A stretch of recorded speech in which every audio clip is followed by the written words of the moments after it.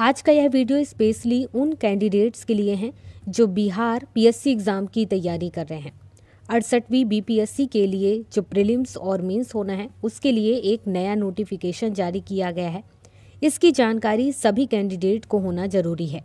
इस new notification के according ये कहा गया है कि अड़सठवीं बीपीएससी एग्ज़ाम होना है। तो अब प्रीलिम्स में अगर आप गलत उत्तर देते हैं या गलत आंसर करते हैं तो वहाँ पर निगेटिव मार्किंग भी रहेगा।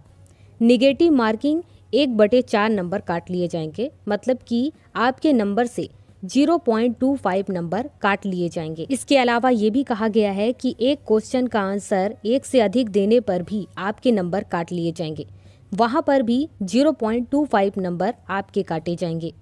अब इसके बाद बात करते हैं मेंस एग्ज़ाम के बारे में। मेंस एग्ज़ाम में क्या चेंजेस हुए हैं, इसके बारे में भी आप जाने रहें। अब यहाँ पर ये कह दिया गया है कि मेंस एग्ज़ाम में एक एसे का पेपर भी होगा। एसे जो कि 300 नंबर का होगा और इसमें तीन घंटे का समय दिया जाएगा।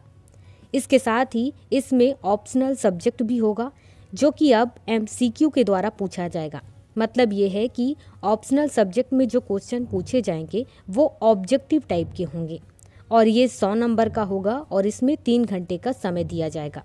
नोटिफिकेशन के अकॉर्डिंग यह कहा गया है कि जो जनरल हिंदी का क्वेश्चन पेपर होगा, उसमें 30 परसेंट नंबर आपको लाना ही होगा, तभी आप पास होंगे। और इसके साथ ही जो ऑप्शनल सब्जेक्ट है, उसमें भी आपको पास होना ज़रूरी है।